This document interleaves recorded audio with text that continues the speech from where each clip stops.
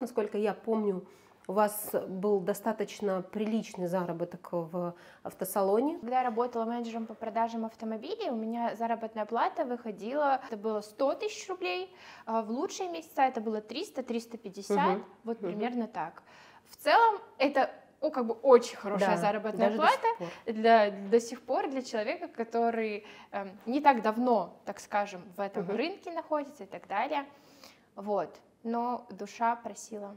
Угу. Я понимала, что я не буду всю жизнь и не хочу всю жизнь работать в графике. Угу. Я готова была на снижение дохода, а, и я ушла с работы, когда зарабатывала с кондитерки 50 тысяч рублей. Угу. Я понимала, что если я останусь работать на работе, то вот он мой потолок 350, угу. и выше у меня не получится. Угу. А если я уйду, начну заниматься своим делом, да, я буду получать сначала меньше, угу. но у меня есть шанс там где-то зарабатывать миллион, два, три и так далее, строить свой большой бизнес, угу. который будет моим. И тут у меня как бы нет потолка, нет предела, я могу развиваться в разных направлениях. И поэтому я ушла. Угу. Потому что я не хотела, опять же, вот здесь зависеть от кого-то, угу. да, вот тоже вот эта вот нить, она тут прослеживается. Не было ли страшно вот с такого дохода большого, там 350 тысяч, переходить на 50? Ну, это, конечно, било немного по вот этому моему «я могу сама все» и так далее. нужно было попросить мужа помочь, поддержать mm-hmm. и так далее. Наверное, решающим фактором уйти с работы было то, что я просматривала помещения на Авито постоянно какие-то, хотела арендовать студию, потому что к тому времени мы завели собачку, mm-hmm. вот, и она линяет, и когда дома а, собака, все же есть mm-hmm. шанс, что попадет какая-то шерсть, еще что-то. Я не могла печь на заказ дома, mm-hmm. потому что было животное.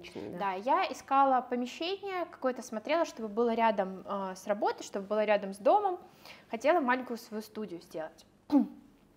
И случайно, абсолютно случайно нашла а, помещение, кофейня. Это была, а, продавали кофейню, и аренда была, получается, 25 тысяч рублей в месяц. Вообще немного. За кофейню. Угу. А изначально я очень сильно хотела свою кофейню. Мне кажется, каждый кондитер практически мечтает о своей кофейне. Вот. И мы поехали туда смотреть, муж сказал, что, скорее всего, это фигня какая-то, развод. В итоге оказывается, что э, реально 25 тысяч аренда помещения, и продавал собственник вообще всю эту кофейню за 75. Mm. Все, что там было, кофе, там сахар, стойка. Оборудования там не было, там все было в аренду. Mm-hmm. И вот буквально по щелчку мы сразу решили, все, покупаем. Mm. И я, получается, сразу купила эту кофейню, и все, у меня не осталось, э, так скажем, выбора. Да, да, да. Я все, я пришла к начальнику, говорю, все, ухожу. Он говорит, куда? Он говорит, давай возьмешь, может быть, два месяца отпуск, угу. типа, за свой счет, подумаешь, там, тра-та-та, а потом вернешься. Я говорю, ну, как бы уже, ну, нет, навряд ли. Угу. Он говорит, ну и что, типа, возвращайся, будем рады, а так, конечно, попробуй. Я просто не могла не попробовать, вот угу. что. Угу. Я очень сильно боялась, что если я не попробую, я буду жалеть потом в итоге. Потому что время-то идет, и в любом случае пробовать надо.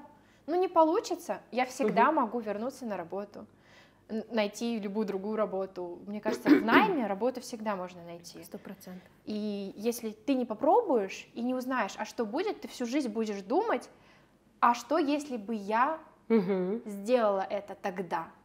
Да, это вот. важно. Поэтому я все же сделала это. Э, получается, вы купили э, как бы как готовый бизнес или вы купили помещение?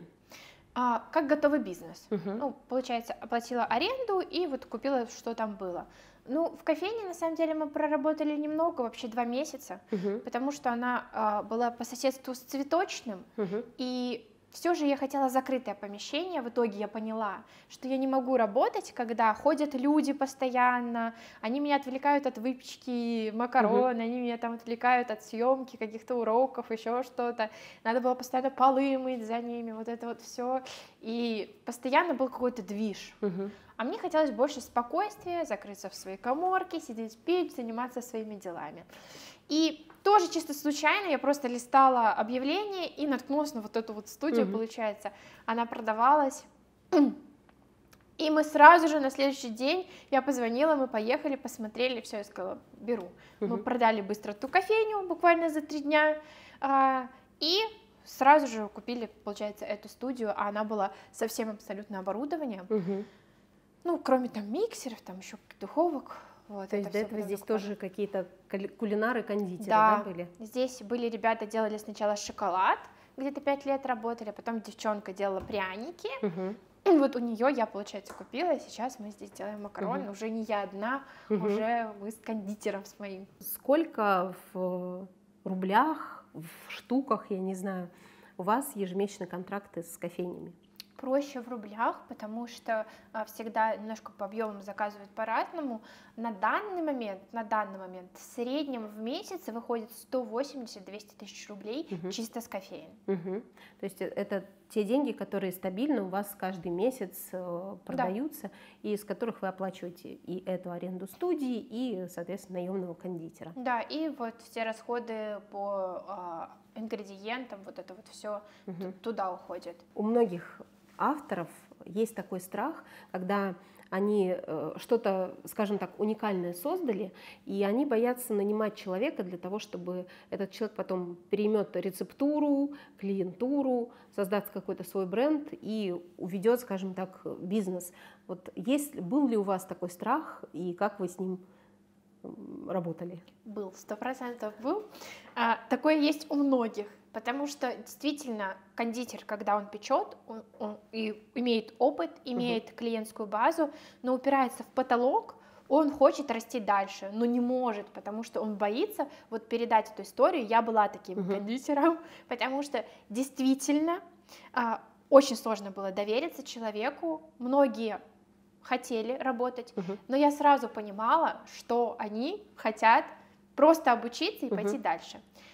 Мой совет тем, кто хочет расти и нанимать людей, но боится, он очень простой. Во-первых, нужно, когда составляешь резюме, спросить у человека, ка- кем он видит себя через полгода. Мгм. Как минимум мы будем понимать, к чему человек идет.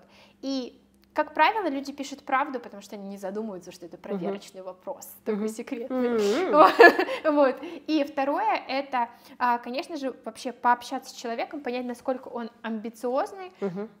чего он хочет дальше. И если вы четко понимаете, что вам нравится человек, но есть сомнения, Мгм. что он уйдет и так далее, то можно просто сделать обучение либо платным, а, к примеру, там первый месяц человек вам платит за Мгм, то, что он мгм. работает, там 10 там, тысяч рублей, какую-то такую сумму. Мгм. Тогда, если он уйдет, будет, ну, не так обидно. Мгм. Да, согласна. Вот, а, это тоже такое можно сделать такую фишку. Либо, соответственно, делать бесплатное. Мгм. Первый там месяц работы без оплаты. Это, так скажем, практика, которая, ну, может быть, потому что человек Мгм. приобретает навык, Мгм. приобретает навык, по сути, бесплатно, что-то Мгм. делать своими руками. Вот. И так становится уже не так страшно, но по факту бояться не стоит, не Мгм. стоит бояться конкуренции и всего такого, потому что ваши клиенты всегда останутся вашими клиентами Мгм. и никуда они не уйдут. То, как делаете вы, делаете только вы. Мгм. И вот сколько я не пробовала макарон, честно, даже моих учениц, они другие. Мгм. Я не знаю почему, но они другие. Моя кондитер изначально, когда пришла, она пекла макарон, и они были реально другими. Мгм.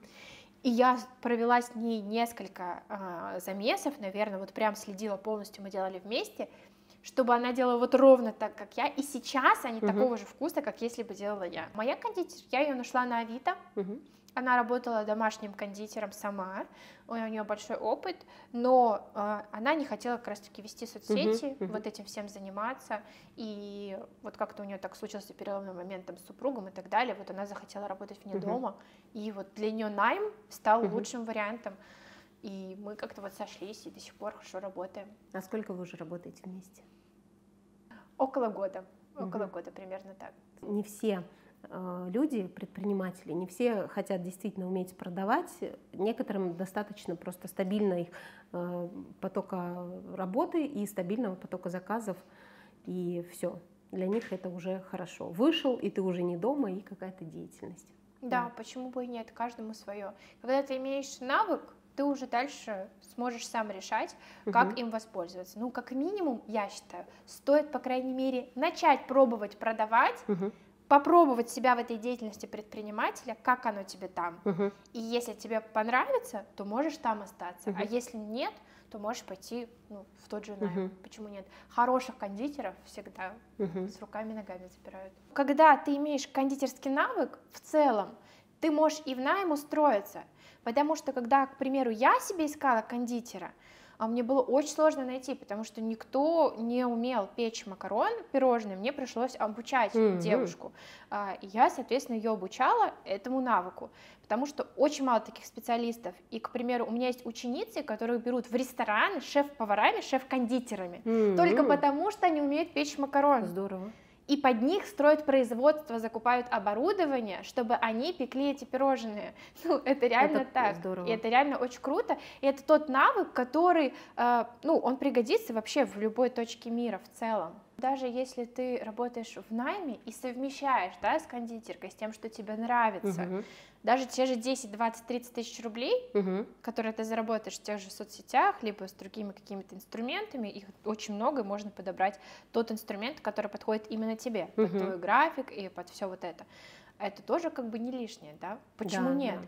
И это будут деньги, которые заработаны в кайф. А потом уже можно и решить, хочешь угу. ли ты на постоянку идти в эту историю, или ты хочешь совмещать. Угу. Тут как бы э, дело вкуса, так скажем, да, дело да. каждого.